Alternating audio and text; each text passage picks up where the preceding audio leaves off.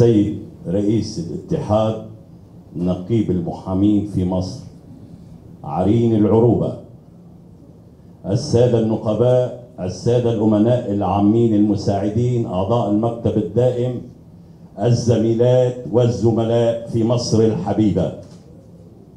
تحية الحق والعروبة. بالنسبة للموضوع السوري أنا لا أكرر ولكن أضيف نقطة جوهرية قانونية. أنه النظام النظام في تركيا استعمل أسلحة محرمة دوليا وهذا موثق وهو الفسفور الأبيض. يجب أن أن نضم هذه الوثائق للدعوة في محكمة الجنائية الدولية. هذه لن أكرر. أما بالنسبة لموضوع هو موضوع لبنان. الكل يعلم أن ما يحصل في لبنان سببه نظام طائفي مبني على المحاصصة بين زعماء الطوائف. وإن الشعب في حال خيانة مكان خيانة حكامه وزعمائه للأمانة التي عهد بها إليهم وحين لا يجد وسيلة دستورية لدفعهم عن الفساد يملك الثورة. وهذا ما حصل في لبنان. للأسف أن بعض ردات الفعل من قبل من يتابعون الحراك الشعبي في لبنان. فالبعض يتعاطى مع لبنان أنه وطن الصبايا والدلع.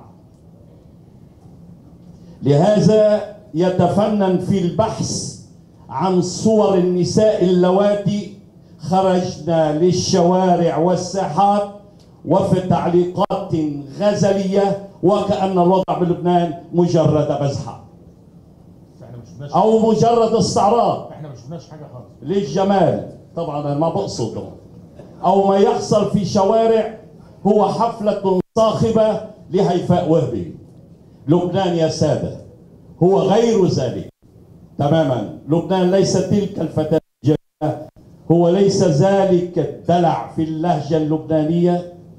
لبنان هو البلد الذي ساهم في تنوير العالم العربي وهو الذي علمنا الحب والحرب.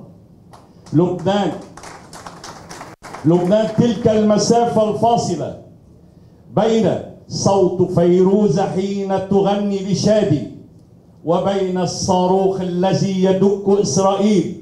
في عقر دارها ويوقف الشعب الإسرائيلي على أجر ونص.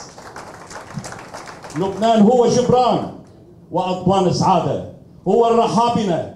لبنان موال وديع ونصري والشحرورة صباح حين تصدح.